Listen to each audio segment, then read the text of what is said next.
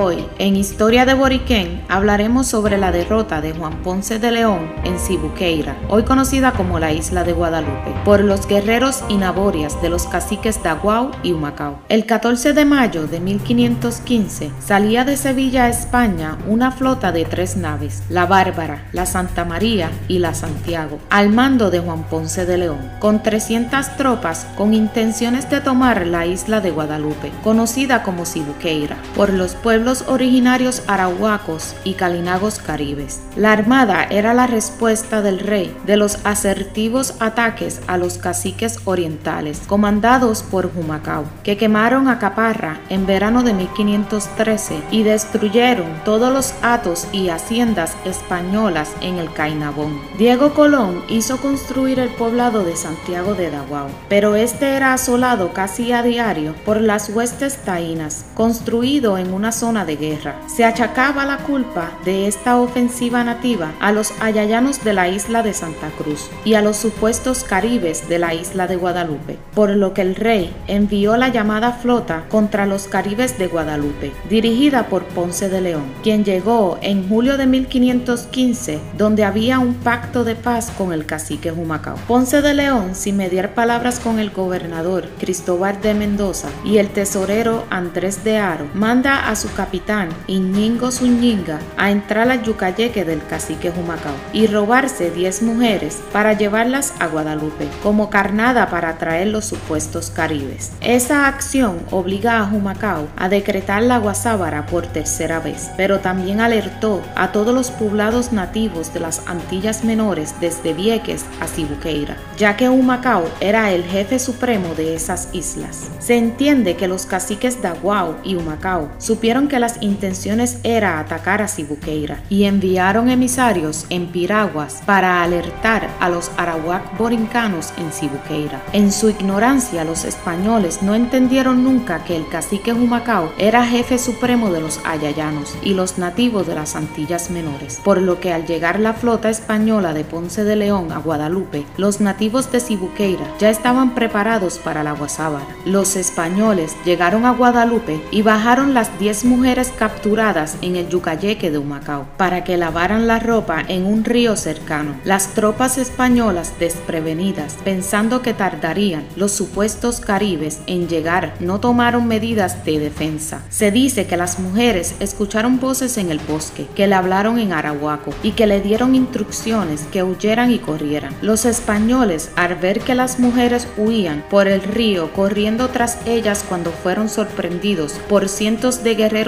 arawak taínos, no caribes, que dejaron cinco soldados muertos a macanazos y 20 quedaron heridos por las lanzas y flechas taínas. Las tropas corrieron a sus botes para regresar a las naves que fueron atacadas por decenas de piraguas que arrojaban cientos de flechas y lanzas sobre las tropas en los barcos. Juan Ponce de León ordena la retirada, regresando a Boriquén derrotado con 10 muertos y decenas de heridos. Ponce de León saliendo con la manos vacías, intenta capturar nativos en Ayay, Santa Cruz, pero también fracasa en ese intento, ya que los ayayanos estaban advertidos semanas antes. Así llega a Caparra con sus tres naves. El tesorero del rey, Andrés de Aro, escribe varias cartas a su majestad del fracaso de la flota contra los caribes y la ineptitud de Juan Ponce de León. Ponce de León también escribe al rey justificando su fracaso por falta de apoyo de los administradores de las islas de San Juan Bautista y de Diego Colón. Esto, al parecer, enfermó a Ponce de León, que deja a su capitán Iñingo de Zúñiga al frente de la armada para regresar a Guadalupe en un segundo intento. Zúñiga regresa en marzo de 1516 a Guadalupe. Humacao había hecho pacto de paz con el gobernador Mendoza, ahora sustituido por el propio Ponce de León, y el tesorero de Aro. Iñingo Zúñiga logra entrar a una aldea en Guadalupe y captura 54 nativos, no antes de haber perdido varios de sus hombres que fueron atacados por mujeres guerreras. Todos los capturados fueron mujeres y taínos jóvenes. Surge entonces que los capturados ninguno era caribe, sino naborias arawak taínos y la mayoría dijeron ser de los yucayeques de Humacao y de.